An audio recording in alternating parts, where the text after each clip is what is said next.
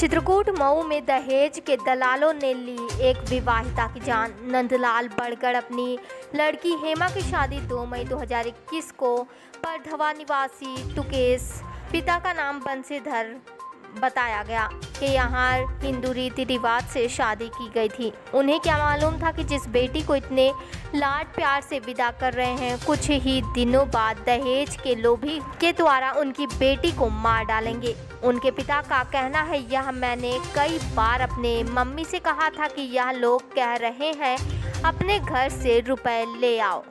और कारखाना हमारे नाम करवाओ, नहीं तो तुमको मार देंगे।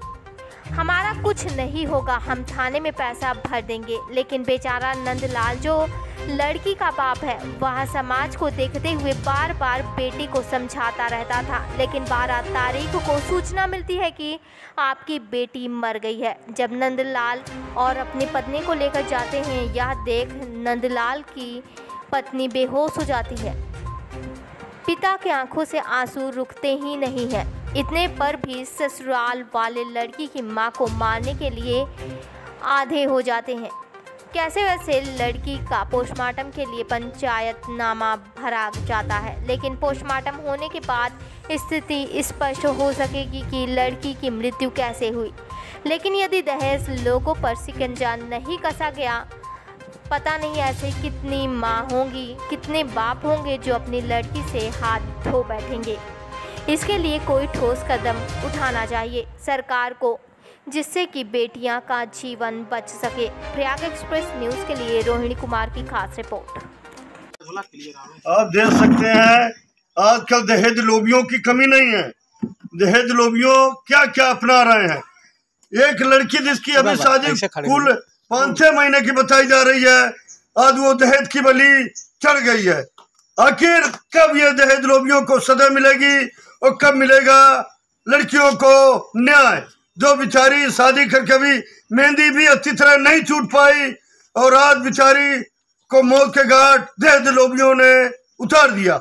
मैं रूबरू करा रहा हूँ उनके पिताजी से नंदलाल से। ये बताइए कि ये क्या हुआ है आपके? ये सर जो है लड़की को हमारे जहर खिला करके मार डाला गया। आप कैसे कह सकते हैं? कि लड़की को जहर खिला के मारा गया। लड़की को मारा पीटा गया था लड़की बोल रही थी सोता कि पापा वहाँ हमको मत भेजो नहीं हमको मार डालेंगे हाँ। और उसके हमको उम्मीद नहीं थी कि ऐसा होगा। और कई बार जो है वहाँ पे हम मेरी मिसेज सोता समझौता करवाने गए। और जब लड़ाई दंगा करते थे मार पीट हमारे लड़की को मारते पीटते थे तो हम गए हैं।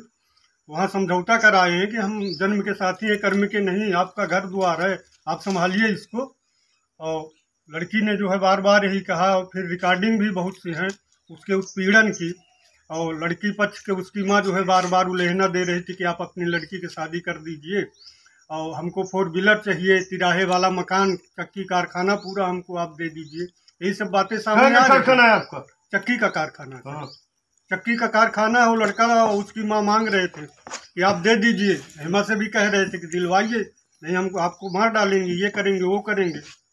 ये उत्पीड़न कर रहे थे बार बार आपको क्या तारीख को जानकारी हुई कि आपका लड़की खत्म हो गया? हमको बारह तारीख को दस बजे इन्होंने बताया कि आपके आज आज आइए आप हेमा को देख लीजिए। हेमा की तबीयत बहुत सीरियस है।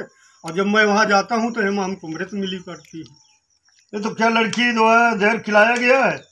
लड़की को जहर खिलाया गया है। लड़की हमारा जहर खा ही नहीं सकती। आप हमारे पूरे बरगढ़ क्षेत्र में पूछ लीजिए उस लड़की के विषय में। अच्छा अच्छा। क्या नाम था लड़की का? लड़की का नाम था हेमा उर्फ़ रितम्भरा शादी क्या तारीख हुई थी? दो मई को। दो मई को हुई थी? जी हाँ। अच्छा लड़का क्या करता है जिसके साथ शादी किया है? वो लड़का किसानी उसानी करता है पहले प्राइवेट फैक्ट्री में काम करता था जब से शादी हो गई घर पर ही रहता है। अब आप क्या चाहते हैं? हम तो केस चाहते कि दंड जो है अपराधी को सजा मिलना चाहिए। देखिए एक बाप का आँसू अगर लड़के को सजा नहीं मिली तो ये बाप का आँसू कैसे जवाब देगा? आखिर आप खुद देख सकते हैं जिन्होंने लड़की को प्रयाग स्पेशल रोहित कुमार की रिपोर्ट